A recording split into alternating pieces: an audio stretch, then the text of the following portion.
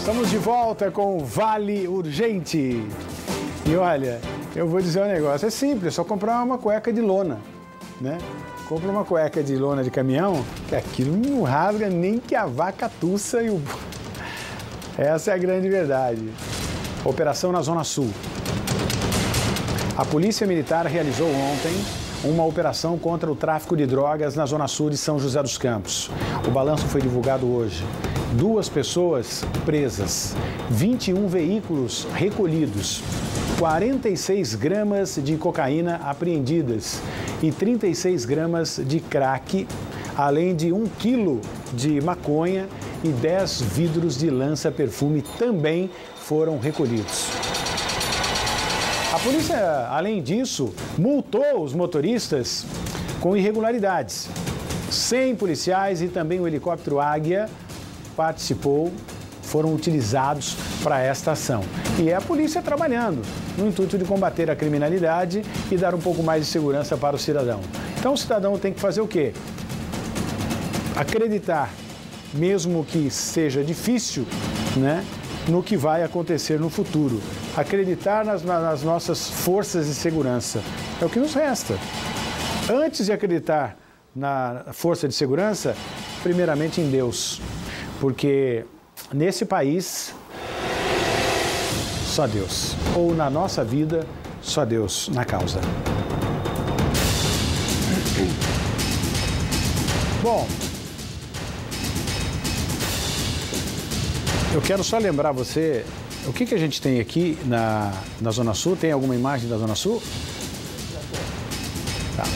Então quero agradecer aqui a audiência, o pessoal que acompanha o nosso programa em Caraguatatuba, a galera lá do Hélio, ô oh, galera do Bar do Hélio, obrigado aí pela audiência, tanta gente acompanhando o nosso programa, obrigado de verdade. Aonde a gente vai, tem gente, olha, ouça o seu programa, né? Jardineiro, é, a você que é segurança, a você que é porteiro de prédio, aí dos prédios, condomínios, né?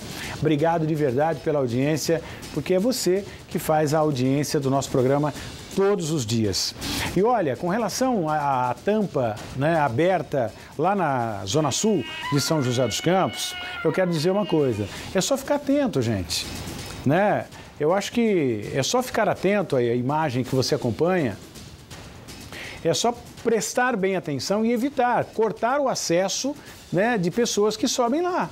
Porque se já não é a primeira vez, é porque isso, ó, já vem acontecendo e, e, agora com essa crise hídrica, problema com água, a caixa d'água sem tampa, água limpa, sujeira e a, a, a, criação, a proliferação aí do Aedes aegypti, então a gente tem que ficar bem atento com relação a isso para evitar qualquer tipo de problema. E parabéns, hein? Parabéns aí à, à equipe de homicídios que já esclareceu mais este caso. E, e, a gente vem falando aqui da dengue, né? Eu não posso deixar de falar também que só em São José dos Campos tem 205 casos de dengue já confirmado. Peraí, 205 casos de dengue confirmado? Eu acho que caberia aqui, né, o secretário da Saúde, Paulo Reutberg um dia vir aqui o programa para falar com a gente a respeito disso. Claro que todo ano né, tem aí o trabalho de prevenção e é isso que, que, que vem se fazendo, mas mesmo assim, já registra 205 casos de dengue em São José dos Campos. E tem também, tem o, o, o chikungunya não, mas o zika sim também, né? Já tem caso de zika também em São José. E zika é realmente uma zica brava.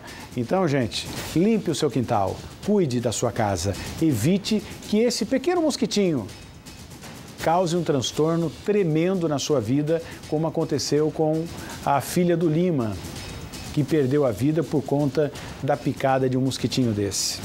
Se cuide. Parabéns aí ao Capitão Caverna pelo seu aniversário. Nosso lema aqui sempre foi esse. E a gente vai continuar até que quando Deus achar que não é necessário mais a nossa presença. Se você não quer virar notícia, não cometa crime. Vem aí, Solange Moraes e o Falando Nisso, e a gente volta amanhã, se Deus permitir.